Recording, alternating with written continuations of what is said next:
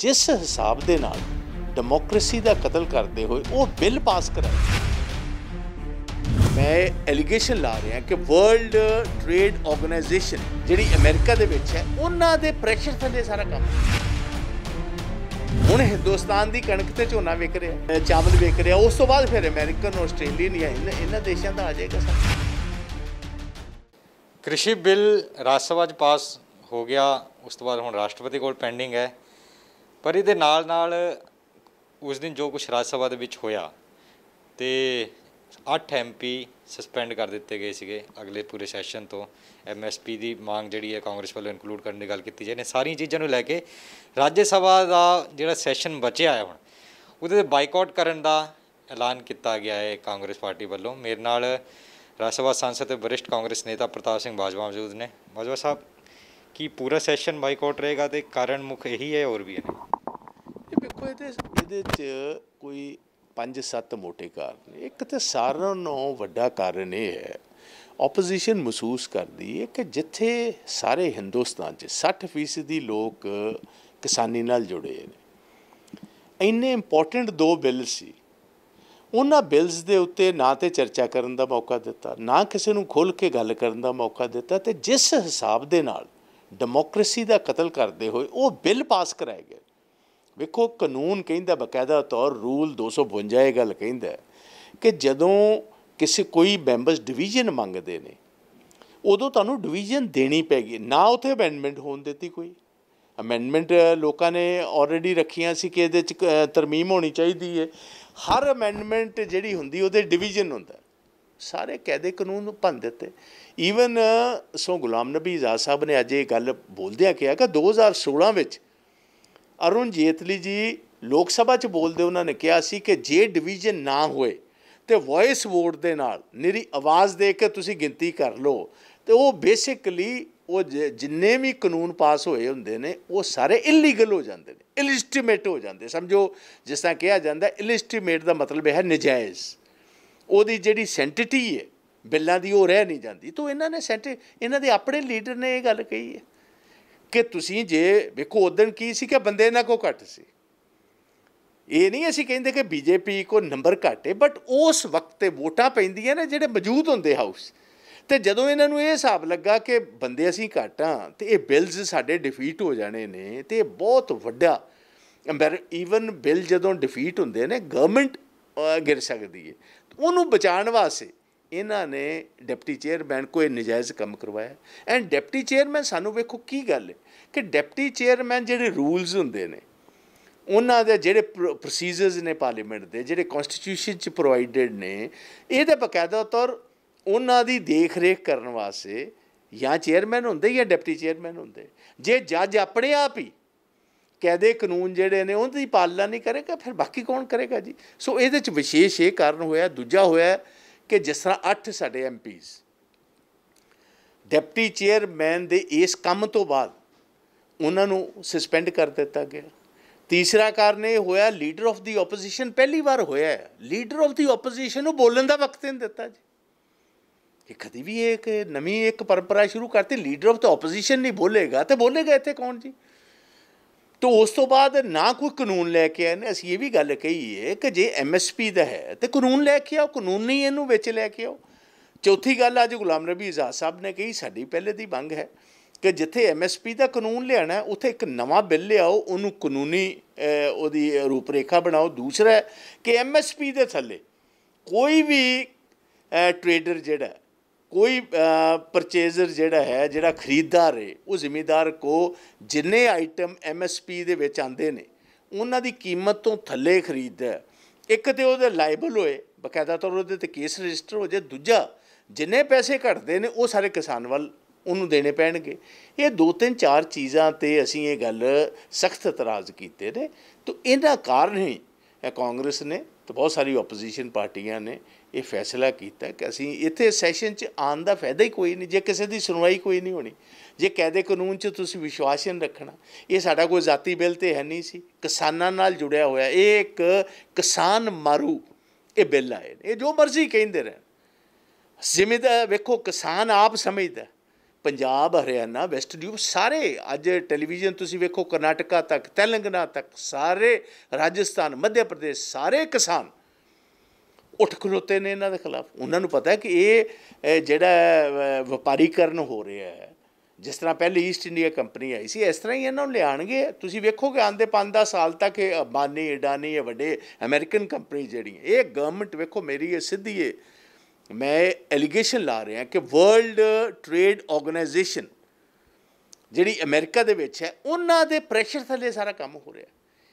ਜਿੱਦਣ ਸਾਰਿਆਂ ਨੂੰ ਚੀਨ ਤੋਂ ਬਾਅਦ ਦੂਜੀ ਸਾਰਿਆਂ ਨੂੰ ਵੱਡੀ ਮਾਰਕੀਟ ਦੁਨੀਆ ਦੇ ਵਿੱਚ ਇਸ ਟਾਈਮ ਹਿੰਦੁਸਤਾਨ ਹੈ ਜਿੱਥੇ 130 ਕਰੋੜ ਲੋਕ ਰਹਿੰਦੇ ਨੇ।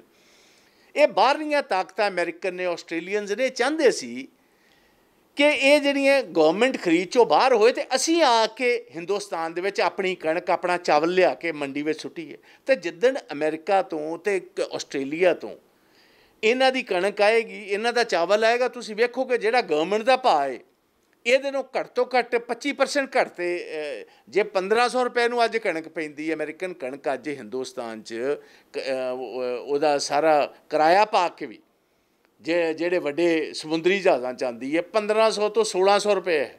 ਗਵਰਨਮੈਂਟ ਸਾਨੂੰ ਪਾ ਦੇ ਰਹੀ 2000 ਤੇ ਜਿੱਦਣ 1500 1600 ਨੂੰ ਆ ਗਿਆ ਤੇ ਤੁਸੀਂ ਆਪਣੇ ਆਪ ਹੀ ਭਾਅ ਡਿੱਗ ਪਏ। ਜਿੱਦਣ ਭਾਅ ਡਿੱਗ ਪਏ ਇਹੀ ਉਹ ਚਾਹੁੰਦੇ ਨੇ ਕਿ ਹੁਣ ਹਿੰਦੁਸਤਾਨ ਦੀ ਕਣਕ ਤੇ ਝੋਨਾ ਵਿਕ ਰਿਹਾ। ਚਾਵਲ ਵਿਕ ਰਿਹਾ। ਉਸ ਤੋਂ ਬਾਅਦ ਫਿਰ ਅਮਰੀਕਨ ਆਸਟ੍ਰੇਲੀਅਨ ਜਾਂ ਇਹਨਾਂ ਇਹਨਾਂ ਦੇਸ਼ਾਂ ਦਾ ਆ ਜਾਏਗਾ ਸਾਡੇ ਜੀ। ਇਹ ਬੇਸਿਕਲੀ ਟ੍ਰੇਡ ਬੈਰੀਅਰ ਹਟਾਉਣ ਵਾਸਤੇ ਬੜੀ ਦੇਰ ਦਾ ਅਮਰੀਕਾ ਦਾ ਵੈਸਟਰਨ ਪਾਵਰਸ ਦਾ ਵਰਲਡ ਟ੍ਰੇਡ ਆਰਗੇਨਾਈਜੇਸ਼ਨਸ ਦਾ ਜ਼ੋਰ ਸੀ ਹਿੰਦੁਸਤਾਨ ਤੇ। ਅਖੀਰ ਉਹ ਕਾਮਯਾਬ ਹੋ ਗਏ ਇਸ ਗੱਲ ਦੇ ਵਿੱਚ। ਫਿਲਹਾਲ। ਹੀ ਨਹੀਂ ਰਹੇਗਾ ਰਹੇਗਾ ਬਾਈਕਾਟ ਹਾਂ। ਬਾਕੀ ਇਹਦੇ ਵਿੱਚ ਇੱਕ ਗੱਲ ਹੋਰ ਦੇਖਣ ਸਾਹਮਣੇ ਆਈ ਹੈ ਜਿਹੜੇ ਕਿ ਸੰਸਦ ਨੇ ਜਿਹੜੇ ਸਸਪੈਂਡ ਹੋਏ। ਉਹ ਬਾਰ-ਬਾਰ ਡਿਪਟੀ ਚੇਅਰਮੈਨ ਵੱਲੋਂ ਇਹੀ ਕਿਹਾ ਜਾ ਰਿਹਾ ਕਿ ਮਾਈਕ ਤੋੜਨ ਦੀ ਕੋਸ਼ਿਸ਼ ਕੀਤੀ, ਇਹਨਾਂ ਨੇ ਹੋ ਹੱਲਾ ਕੀਤਾ, ਝੜਪ ਹੋਈ ਹੈ, ਇਹ ਤਾਂ ਮਾਰਸ਼ਲ ਆ ਗਏ ਤਾਂ ਬਚ ਗਏ, ਨਹੀਂ ਤਾਂ ਕੁਝ ਵੀ ਹੋ ਸਕਦਾ ਸੀਗਾ। ਤੁਸੀਂ ਹਾਊਸ ਦੇ ਵਿੱਚ ਸੀਗੇ, ਇਹੋ ਜਿਹੀਆਂ ਚੀਜ਼ਾਂ ਸੀਗੀਆਂ ਉੱਥੇ? ਦੇਖੋ, ਇੱਕ ਮੈਂ ਤੁਹਾਨੂੰ ਦੱਸਣਾ ਚਾਹਨਾ ਇਹਦੇ ਚ ਸਾਰੇ ਦਾ ਸਾਰਾ ਕਸੂਰ ਡਿਪਟੀ ਚੇਅਰਮੈਨ ਦੇ ਤੌਰ ਤਰੀਕਿਆਂ ਦਾ। ਜੇ ਡਿਪਟੀ ਚੇਅਰਮੈਨ ਸਾਹਿਬ ਜਿਹੜੇ ਹੁੰਦੇ ਨੇ, ਉਹ ਬਹੁਤ ਅਸੀਂ ਉਹਨਾਂ ਦੀ ਇੱਜ਼ਤ ਕਦਰ ਕਰਨੇ ਆ, ਉਹ ਚੇਅਰ ਦੀ ਬੜੀ ਅਮੀਅਤ ਹੈ।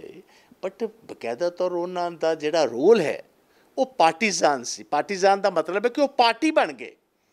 ਅੱਜ ਦੀ ਸਰਕਾਰ ਦੇ ਨਾਲ ਉਹ ਪਾਰਟੀ ਬਣ ਗਏ, ਜਿੰਨੇ ਮੈਂਬਰ ਆਫ ਪਾਰਲੀਮੈਂਟ ਨੇ, ਸਾਰੇ ਇਸ ਗੱਲ ਤੇ ਪਰੇਸ਼ਾਨ ਨੇ ਕਿ ਵੇਖੋ ਐਡਾ ਇੰਪੋਰਟੈਂਟ ਬਿੱਲ ਜਿਹਦੇ ਨਾਲ ਕਿਸਾਨੀ ਮੁੱਕ ਰਹੀ ਹੈ। ਜੀ ਉਹਦੇ ਵਿੱਚ ਵੀ ਤੁਸੀਂ ਘੱਟ ਤੋਂ ਘੱਟ ਆਪੋਜੀਸ਼ਨ ਨੂੰ ਜਿਹੜੇ ਉਹਦੇ ਬੰਦੇ ਹੋਏ ਹੱਕ ਨੇ, ਉਹ ਤੇ ਦਿਓ। ਅਸੀਂ ਤੇ ਵੋਟਾਂ ਹੀ ਮੰਗ ਰਹੇ ਸੀ ਨਾ ਕਿ ਡਿਵੀਜ਼ਨ ਕਰਾ ਲਓ। ਡਿਵੀਜ਼ਨ ਦੇ ਵਿੱਚ ਗਵਰਨਮੈਂਟ ਜਿੱਤ ਵੀ ਜਾਂਦੀ ਤੇ ਚਲੋ ਫਿਰ ਲੋਕਾਂ ਨੂੰ ਪਤਾ ਲੱਗ ਜਾਂਦਾ ਕਿ ਠੀਕ ਹੈ, ਵੋਟਾਂ ਨੇ ਜਿੱਤੇ ਨੇ ਜੀ। ਇਹ ਧੱਕੇ ਨਾਲ ਕਰ ਗਏ ਨੇ ਕਿਉਂਕਿ ਇਹਨਾਂ ਕੋਲ ਨੰਬਰ ਹੈ ਬਟ ਇਹਦੇ ਵਿੱਚ ਨੰਬਰ ਹੈ ਨਹੀਂ ਸੀ। ਸਾਰਿਆਂ ਨੂੰ ਵੱਡੀ ਗੱਲ ਸੀ ਲੋਕ ਸਭਾ ਦੇ ਵਿੱਚ ਤੇ ਕਿਉਂਕਿ ਨੰਬਰ ਬਹੁਤ ਇਹਨਾਂ ਕੋ ਇੱਕ ਪਾਸੇ ਤੇ 350 ਦੂਜੇ ਪਾਸੇ ਸਾਰਾ 100 100 ਸਵਾ 100 ਜਾਂ 150 ਨ- ਸਾਰਾ ਕੰਪਲੀਟ ਆਪੋਜੀਸ਼ਨ ਦੀ 150 ਸੀਟ ਹੈ।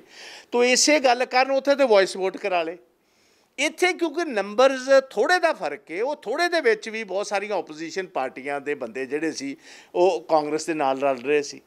ਇਹਨਾਂ ਨੂੰ ਜਦੋਂ ਉੱਥੇ ਮਹਿਸੂਸ ਹੋਇਆ ਕਿ ਅੰਦਰ ਹਾਊਸ 'ਚ ਬੈਠੇ ਸਾਡੇ ਕੋਲ ਵੋਟਾਂ ਹੈ ਨਹੀਂ ਇਹ ਬਿੱਲ ਅੱਜ ਡਿਫੀਟ ਹੋ ਜਾਣਗੇ ਉਹਨੂੰ ਬਚਾਉਣ ਵਾਸਤੇ ਸਾਰਾ ਕੰਮ ਕੀਤਾ ਗਿਆ। ਹੁਣ ਰਾਹ ਕੀ ਬਚਦਾ ਹੈ? ਹੁਣ ਸਭ ਕੁਝ ਹੋ ਗਿਆ ਪਾਸ ਬਿੱਲ ਵੀ ਹਸਤਾਖਰ ਵੀ ਲੱਗਦਾ ਕਿ ਹੋ ਜਾਣਗੇ।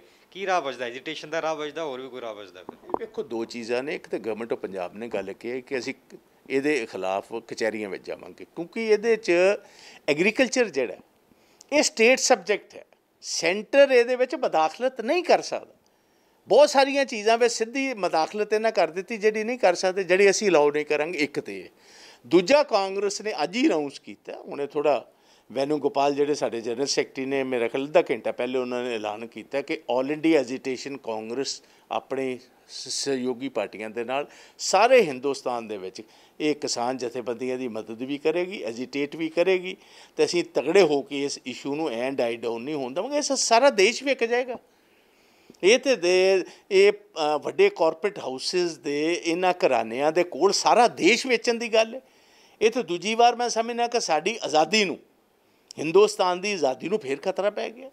ਇਹ ਸੈਂਟਰ ਦਾ ਇਲਾਜ ਜੇ ਸਟੇਟ ਚਾਹੇ ਤਾਂ ਇਹ ਲਾਗੂ ਨਹੀਂ ਹੋ ਸਕਦਾ ਅਗਰ ਸਟੇਟ ਕਿਉਂਕਿ ਸਟੇਟ ਆਪਣੇ ਚਾਹੇ ਤੇ ਕਿਸੇ ਐਂਟਰੀ ਨਾ, ਨਹੀਂ ਵੀ ਕਰ ਸਕਦੀ ਹੈ। ਸਟੇਟ ਦੇ ਕੋਲ ਪਾਵਰ ਹੈ। ਇਹ ਵੇਖੋ, ਕੁਝ ਚੀਜ਼ਾਂ ਇਹੋ ਜੀਆਂ ਨੇ ਜਿਹੜੀਆਂ ਸਟੇਟ ਮਦਾਖਲਤ ਕਰੇਗੀ, ਅਸੀਂ ਨਹੀਂ ਹੋਣ ਦੇਵਾਂਗੇ। ਬਟ ਜਿਹੜੀ ਬੇਸਿਕ ਲੜਾਈ ਸਾਡੀ ਮਿਨੀਮਮ ਸਪੋਰਟ ਪ੍ਰਾਈਸ ਦੀ ਹੈ, ਉਹ ਤੇ ਸੈਂਟਰ ਦੇ ਕੋਲ ਹੀ ਹੈ ਨਾ ਜੀ। ਖਰੀਦ ਸੈਂਟਰ ਦੀ ਖਰੀਦ ਫੂਡ ਕਾਰਪੋਰੇਸ਼ਨ ਦੇ ਥਰੂ ਜਿਹੜੀ ਹੁੰਦੀ ਹੈ, ਉਹ ਤੇ ਬੇਸਿਕ ਚੀਜ਼ ਤੇ ਇਹ ਹੈ ਕਿ ਖਰੀਦ ਸਰਕਾਰੀ ਜਿਹੜੀ ਅਸੀਂ ਮਿਨੀਮਮ ਸਪੋਰਟ ਪ੍ਰਾਈਸ ਰੱਖੀ, ਉਹ ਜਾਰੀ ਰਹੇ। ਸਰਕਾਰ ਇਹਦੇ ਚੋਂ ਆਪਣੇ ਹੱਥ ਖੜੇ ਕਰਕੇ ਨਿਕਲਣ ਵਾਲੀ ਨਾ ਬਣੇ। ਉਹ ਚੀਜ਼ ਸੈਂਟਰ ਦੇ ਕੋਲ ਬਟ ਜਿਸ ਤਰ੍ਹਾਂ ਉਹਨਾਂ ਕਿਹਾ ਕਿ ਅਸੀਂ ਠੇਕੇ ਤੇ ਜ਼ਮੀਨਾਂ ਦੇ ਸਕਦੇ ਆ ਵੱਡੇ ਬੰਦੇ ਆ ਕੇ ਕਾਰਪੋਰੇਟ ਹਾਊਸਸ ਆ ਕੇ ਜ਼ਮੀਨ 2-2 4-4 ਹਜ਼ਾਰ ਇਕੱਠੀ ਕਰਕੇ ਤੇ ਇੱਥੇ ਠੇਕੇ ਦੀ ਕੰਟਰੈਕਚੁਅਲ ਫਾਰਮਿੰਗ ਕਰ ਸਕਣ, ਉਹ ਸਟੇਟ ਸਬਜੈਕਟ ਹੈ। ਦੂਜਾ ਇਹ ਹੈ ਕਿ ਜੇ ਬਾਹਰੋਂ ਵਪਾਰੀ ਆ ਜੇ ਤੇ ਉਹ ਆ ਕੇ ਤੇ ਖਰੀਦ ਕਰੇ ਤੇ ਉਹ ਕਹਿੰਦੇ ਕਿ ਉਹਨਾਂ ਨੇ ਗਵਰਨਮੈਂਟ ਨੂੰ ਟੈਕਸ ਕੋਈ ਨਹੀਂ ਦੇਣਾ। ਇਹ ਵੀ ਗਵਰਨਮੈਂਟ ਸਟੇਟ ਸਬਜੈਕਟ ਅਸੀਂ ਹੁਣ ਨਹੀਂ ਦਾਂਗੇ। ਵਪਾਰੀ ਪੰਜਾਬ ਚ ਆਂਦਾ ਹੈ। ਵਪਾਰੀ ਅਸੀਂ ਅਸੀਂ ਆਪਣਾ ਪਾਣੀ ਸਾਰਾ ਖਤਮ ਕਰ ਲਿਆ। ਅਸੀਂ ਸਾਢ- ਅ, ਸਾਢੇ ਛੇ ਹਜ਼ਾਰ ਕਰੋੜ ਰੁਪਈਆ ਪੰਜਾਬ ਦੀ ਸਰਕਾਰ ਹਰ ਸਾਲ ਟਿਊਬਵੈਲਸ ਦੀ ਸਬਸਿਡੀ ਦਿੰਦੀ ਫਾਰਮਰਸ ਨੂੰ। ਪਾਣੀ ਸਾਡਾ ਇਸਤੇਮਾਲ ਹੋ ਰਿਹਾ ਸਿਹਤ ਸਾਡੀ ਖਤਮ ਹੋ ਗਈ ਸੋਇਲ ਟੈਕਸਚਰ ਸਾਡਾ ਖਤਮ ਹੋ ਗਿਆ।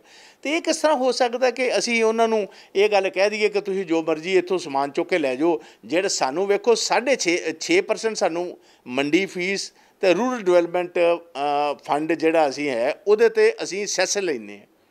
4000 ਕਰੋੜ ਰੁਪਈਆ ਆਉਂਦਾ ਹੈ। ਜੇ 4000 ਕਰੋੜ ਨਾ ਮਿਲਿਆ ਤਾਂ ਪਿੰਡਾਂ ਦਾ ਤਾਂ ਸਾਰਾ ਬਿਲਕੁਲ ਹੀ ਬੇੜਾ ਬਹਿ ਜਾਏਗਾ ਜੀ। ਜਿਹੜੀਆਂ ਸਾਡੀਆਂ ਬੜੀਆਂ ਸੜਕਾਂ ਦਾ ਜਾਲ ਹੈ 75000 ਕਿਲੋਮੀਟਰ ਸੜਕ ਬਣੀ ਹੈ, ਉਹਨੂੰ, ਉਹਦੀ ਰਿਪੇਅਰ ਕੌਣ ਕਰੇਗਾ? ਉਹਨੂੰ ਨਵੇਂ ਸਿਰੋਂ ਜ- ਜਿਹਨੂੰ ਬਲੈਕ ਟੌਪ ਕਹੀਦਾ, ਜਦੋਂ ਉਹਦੇ ਤੇ ਲੁੱਕ ਪੈਂਦੀ, ਉਹ ਕੌਣ ਪਵਾਏਗਾ ਜੀ? ਪੈਸੇ ਕਿੱਥੋਂ ਆਣਗੇ ਤੁਹਾਡੀਆਂ ਜਿਹੜੀਆਂ ਪੁਰਾਣੀਆਂ ਮੰਡੀਆਂ ਨੇ ਜਾਂ ਨਵੀਆਂ ਮੰਡੀਆਂ, ਉਹਨਾਂ ਦੀ ਦੇਖ ਰੇਖ ਕੌਣ ਕਰੇਗਾ? ਬਿਨਾਂ ਪੈਸਿਆਂ ਤੋਂ ਤਾਂ ਤੁਹਾਨੂੰ ਪਤਾ ਹੈ, ਹਰ ਘਰ ਦੇ ਵਿੱਚ ਹਰ ਸਾਲ ਤੁਹਾਨੂੰ ਕੋਈ ਕਲੀ ਕਰਾਣੀ ਪੈਂਦੀ, ਕੋਈ ਛੋਟਾ ਮੋਟਾ ਮੁਰੰਮਤ ਕਰਾਣੀ ਪੈਂਦੀ, ਮੰਡੀਆਂ ਇਨ- ਹ- ਹਜ਼ਾਰਾਂ ਕਰੋੜ ਰੁਪਈਆ ਉਹਨਾਂ 'ਚ ਲੱਗਿਆ ਜੀ। ਪਿੰਡੂ ਇਨਫਰਾਸਟ੍ਰਕਚਰ 'ਚ ਇੰਨਾ ਕੁਝ ਅਸੀਂ ਲਾਇਆ, ਉਹ ਤਾਂ ਖਤਮ ਹੋ ਜਾਏਗਾ ਬਿਲਕੁਲ ਜੀ। ਮੇਰਾ ਆਖਰੀ ਸਵਾਲ ਹੈ, ਕੱਲ ਤੁਹਾਡੀ ਪਾਰਟੀ ਚਾਰ ਸੰਸਦ ਉੱਥੇ ਕੈਂਡਲ ਮਾਰਚ ਕੱਢ ਰਹੇ ਸੀ, ਪੁਲਿਸ ਨਾਲ ਹੱਥਾਪਾਈ ਹੋਈ ਕਾਫੀ ਜ਼ਿਆਦਾ ਬਵਾਲ ਹੋਇਆ। ਆਰੋਪ ਉਹਨਾਂ ਵੱਲੋਂ ਲਾਏ ਜਾ ਰਹੇ ਨੇ ਕਿ ਸਾਨੂੰ ਹੁਣ ਸ਼ਾਂਤੀ ਮਾਰਚ ਵੀ ਨਹੀਂ ਕੱਢਣ ਦਿੱਤਾ ਜਾ ਰਿਹਾ ਹੈ। ਕੀ ਲੱਗਦਾ ਹੁਣ ਸਰਕਾਰ ਇਸ ਰਵੱਈਏ ਤੋਂ ਉਤਰ ਆਈ ਹੈ? ਦੇਖੋ, ਬਹੁਤ ਇਹ ਮੈਂ ਸਭ ਨੂੰ ਅਫਸੋਸ ਨਾ ਕਿ ਮੈਂ ਤੇ ਕੱਲ ਰਾਤ ਹੀ ਟਵੀਟ ਕਰਕੇ ਉਹਨੂੰ ਕੰਡੈਮ ਕੀਤਾ ਸੀ ਇਸ ਗੱਲ ਨੂੰ। ਇਹ ਜਿੱਥੇ members of parliament elected members of parliament ਨੂੰ ਤੁਸੀਂ ਸ਼ਾਂਤੀ ਦੇ ਨਾਲ ਕਿਸਾਨਾਂ ਦੇ ਹੱਕ ਦੇ ਵਿੱਚ ਕੈਂਡਲ ਮਾਰਚ ਮੈਨੂੰ ਦੱਸੋ ਕੈਂਡਲ ਮਾਰਚ ਹੋਇਆ, ਹਜ਼ਾਰਾਂ ਬੰਦੇ ਇਕੱਠੇ ਹੁੰਦੇ ਰਹੇ, ਜੋ ਨਿਰਭਇਆ ਕਾਂਡ ਹੋਇਆ ਗ ਸਾਡੀ ਆਪਣੀ ਗਵਰਨਮੈਂਟ ਸੀ ਕਿਸੇ ਨੇ ਡਿਸਅਲਾਉ ਨਹੀਂ ਕੀਤਾ। ਹਜ਼ਾਰਾਂ ਆ ਰੋਜ਼ ਆ ਕਿ ਅੰਨਾ ਹਜ਼ਾਰੇ ਤੋਂ ਲੈ ਕੇ ਕੇਜਰੀਵਾਲ ਸਾਹਿਬ ਜੀ ਤੋਂ ਲੈ ਕੇ ਇਹ ਸਾਰੇ ਇੱਥੇ ਯੋਗਿੰਦਰ ਯਾਦਵ ਤੋਂ ਲੈ ਕੇ ਪ੍ਰਸ਼ਾਂਤ ਭੂਸ਼ਣ ਤੱਕ ਸਾਰੇ ਇੱਥੇ ਹਜ਼ਾਰਾਂ ਦੀ ਤਾਦਾਦ 'ਚ ਬੈਠੇ ਰਹੇ। ਰਾਮਲੀਲਾ ਗਰਾਊਂਡ 'ਚ 50000 ਬੰਦਾ ਰੋਜ਼ ਬੈਠਾ ਰਿਹਾ। ਉਦੋਂ ਕਾਂਗਰਸ ਨੇ ਕਦੀ ਮਨਾ ਨਹੀਂ ਕੀਤਾ। ਬਟ ਆ ਜਿਹੜਾ ਇੱਕ ਨਵਾਂ ਰੂਪ ਇਹਨਾਂ ਦੇ ਵੇਖ ਰਹੇ ਆ ਮੌਜੂਦਾ ਸਰਕਾਰ ਦਾ, ਇਹ ਬੜਾ ਅਫਸੋਸਨਾਕ ਹੈ। ਇਹ ਤਾਂ ਬਹੁਤ ਵੱਡੀ ਡੈਮੋਕ੍ਰੇਸੀ ਦੇ ਵਿੱਚ ਲੋਕਤੰਤਰ ਦਾ ਬਹੁਤ ਵੱਡਾ ਖਤਰੇ ਦੀ ਨਿਸ਼ਾਨੀ ਹੈ। ਜੇ ਇਹਨਾਂ ਦੀ ਸੋਚ ਇਹ ਹੈ ਕਿ ਅਸੀਂ ਕਿਸੇ ਨੂੰ ਕਿਸੇ ਦੇ ਹੱਕ 'ਚ ਵੀ ਨਹੀਂ ਬੋਲਣ ਦੇਣਾ, ਬਹੁਤ ਮਾੜੀ ਗੱਲ ਬਿਲਕੁਲ, ਹੁਣ ਅਗਲਾ ਜਿਹੜਾ ਸੈਸ਼ਨ ਦੇ ਕੁਝ ਦਿਨ ਬਾਕੀ ਨੇ, ਉਹਦੇ ਵਿੱਚ ਰਾਜ ਸਭਾ ਦੇ ਵਿੱਚ ਕਾਂਗਰਸ ਪੂਰੀ ਤਰ੍ਹਾਂ ਬਾਈਕਾਟ ਰਹੇਗਾ, ਕਿਉਂਕਿ ਇਹਨਾਂ ਦਾ ਕਹਿਣਾ ਕਿ ਜਿਹੜੀਆਂ ਸਾਡੀਆਂ ਮੰਗਾਂ ਨੇ ਉਹ ਪੂਰੀਆਂ ਕੀਤੀਆਂ ਜਾਣ ਤੇ ਸਰਕਾਰ ਸੁਣ ਤਾਂ ਰਹੀ ਨਹੀਂ ਤੇ ਜਾ ਕੇ ਅੰਦਰ ਫਾਇਦਾ ਵੀ ਕੀ ਹੈ।